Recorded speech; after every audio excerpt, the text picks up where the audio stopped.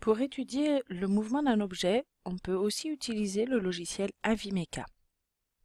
Une fois ce logiciel ouvert, il faut ouvrir la vidéo à étudier. Par exemple, en cliquant sur Fichier, Ouvrir un clip vidéo, on choisit ici un fichier de type AVI.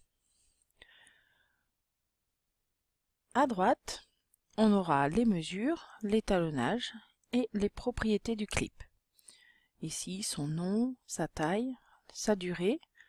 Chose intéressante, la durée entre chaque image, 40 millisecondes, ou la fréquence d'image, 25 images par seconde. Il va falloir étalonner la vidéo pour pouvoir étudier les mouvements d'un point par exemple. Rappelons qu'ici, en bas, vous pouvez lire la vidéo avec le petit onglet de lecture, revenir en arrière, ou regarder la vidéo image par image.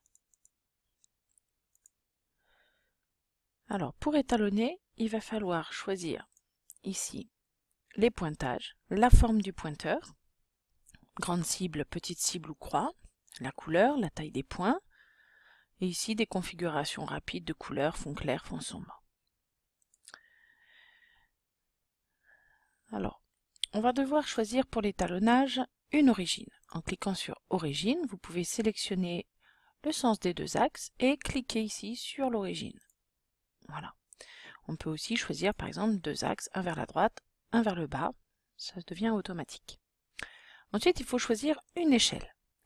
Alors le premier point, vous le choisissez par exemple ici sur cette règle, et le deuxième point sur un autre point de la règle.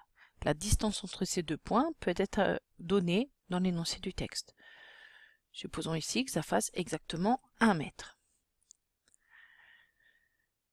Une fois que l'étalonnage euh, en échelle et de l'origine ont été faits, on peut faire les mesures. Pour cela, on clique sur le premier point. L'image passe automatiquement à la suivante on clique au fur et à mesure sur les positions de l'objet lorsqu'il se déplace sur l'image.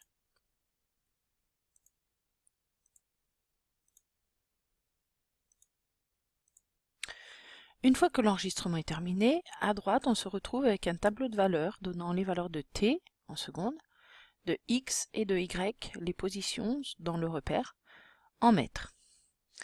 Pour maintenant étudier ce mouvement, il suffit de cliquer sur cet onglet qui permet de basculer vers Régressi. Les points sont remis ici et on peut étudier le mouvement comme d'habitude avec le logiciel Régressi.